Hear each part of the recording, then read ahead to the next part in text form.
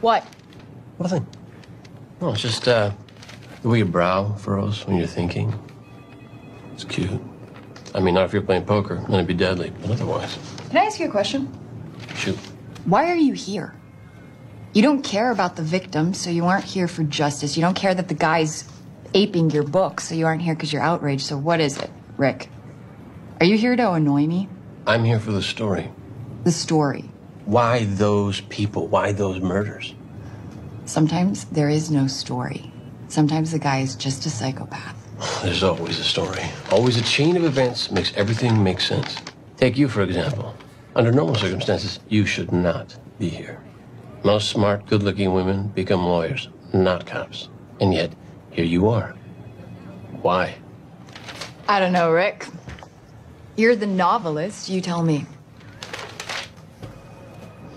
Well, you're not bridge and tunnel. No trace the boroughs when you talk, so that means Manhattan. That means money. You went to college, probably a pretty good one. You had options. Yeah, you had lots of options. Better options. More socially acceptable options. And you still chose this. That tells me something happened. Not to you. You're wounded, but you're not that wounded. Uh, it was somebody you cared about. It was someone you loved. And you probably could have lived with that, but the person responsible was never caught.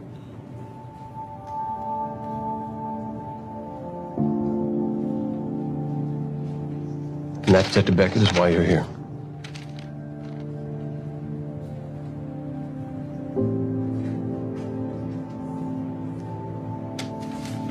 Cute trick. Don't think you know me. The point is, there's always a story. You, you just have to find it.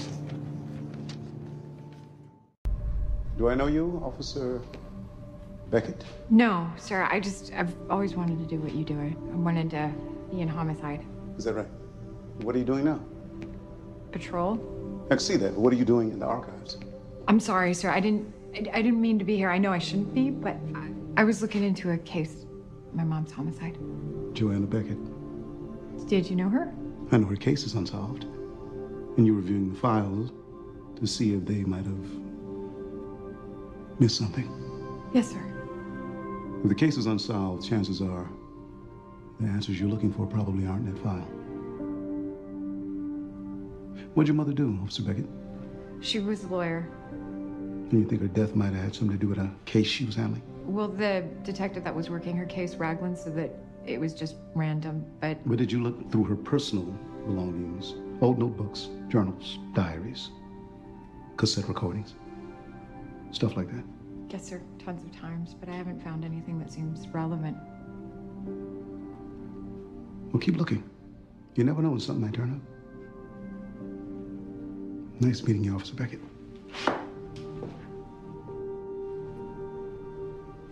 Sorry about your mom. Thank you, sir.